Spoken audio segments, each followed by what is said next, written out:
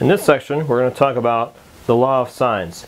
The law of sines is something that you can use to find missing sides and missing angles of triangles that are not uh, right triangles. You can use them, uh, the law of sines, you can use it in this, these cases right here.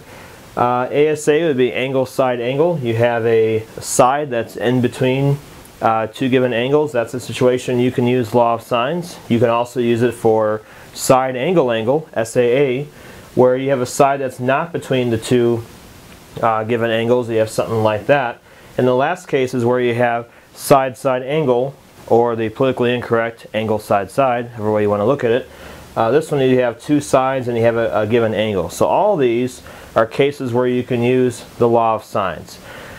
Primarily, the, the time you want to use it is when you have a side opposite a given angle. So anytime you have a side opposite a given angle, that's a case where you can use the law of sines. For instance, this one, if I know these two angles, I could find the third angle, and that is a given angle across from a given side. For side angle angle, you have, again, the same thing. You already have a side opposite a given angle there. For this one, you also have a side opposite the given angle. So in all three of these cases, as long as you have a side opposite the given angle, you can use law of sines. So why is that important? Well, the formula right here, what the law of sines basically is, it's basically a proportion.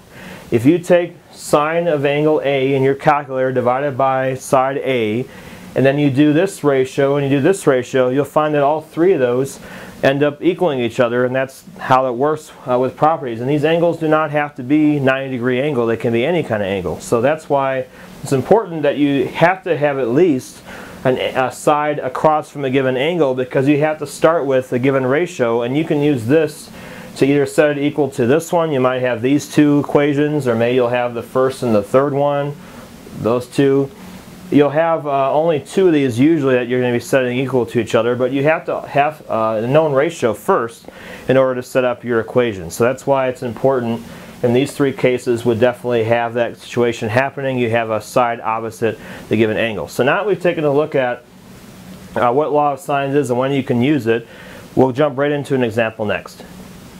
Okay, now we've talked about the definitions of what the uh, law of sines is and we looked at when you can use it. Here's an example that we'll do to illustrate uh, this property.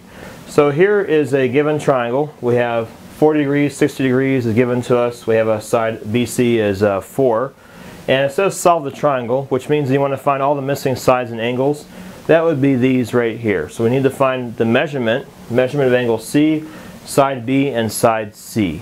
And we're going to use the law of sines to do that. Now the first thing we're going to do before we do any law of sines is we want to find out what this third angle is. And since you have two out of the three angles, you can find this one by just doing 180 minus 40 minus 60. So if you do that right here, uh, you're going to get 80 degrees, which is going to be your answer for the measurement angle C. So this is going to give you uh, 80 degrees. So now we have the first answer. We need to have all three sides because we need it later when we find side C we need to have the angle across from uh, side C so that way we can set it up with the uh, law of sines. So first thing we're going to do is we need to find uh, either B or C doesn't matter I'll solve for side B first. You want to begin with the known ratio. So in this case we're given a sine 40 over 4. That's a given ratio that's been uh, provided for us. We're going to set this equal to uh, sine of, we want if we want to solve for side B, that means we have to use angle B that goes with it. So we're going to do sine of 60 degrees, and that's going to be over uh, side B. So this is your, uh, the setup for it by using law of sines. You always want to begin with a known ratio. That's why you got to have a, a side opposite the given angle. You always want to begin with that. Then you set it equal to whatever side you're trying to find. So in this case, we're trying to solve for side B. That's why I used 60 degrees because that's the angle that's opposite side B that we're trying to solve for. Okay, so now we're going to solve for B. Now you're going to do that by doing cross multiplying. If we multiply these together, we get B sine 40 degrees is going to equal 4 sine 60 degrees. Then we're going to divide both sides by sine 40. We get 4 sine 60 divided by sine 40. Now you want to make sure you uh, have your calculator set in degree mode And we're going to put this into our calculator and when you do, we're going to get the decimal 5.39. That's what we should your calculator uh, should give. Now, yes, you, sine 60 is an exact value you can get off your table, but you don't want to use it here because sine 40 is not going to be on the table, so you're going to get a decimal anyway, so you might as well just keep the whole thing in terms of decimals. That's going to be your answer for B. So now I know that this is going to be 5.39. So 5.39 is this one right here.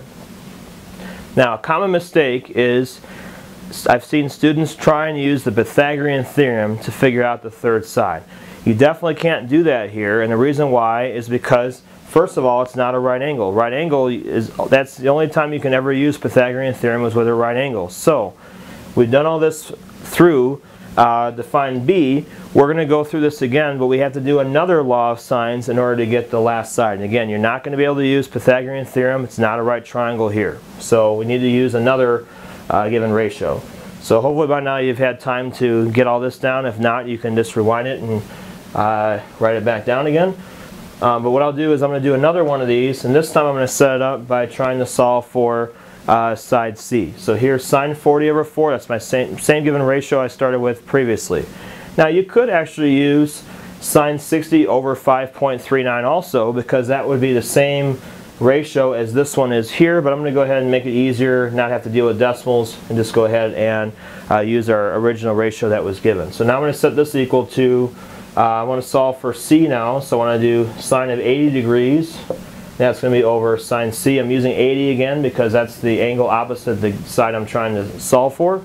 Cross multiply, C sine 40 uh, is going to equal 4 sine 80.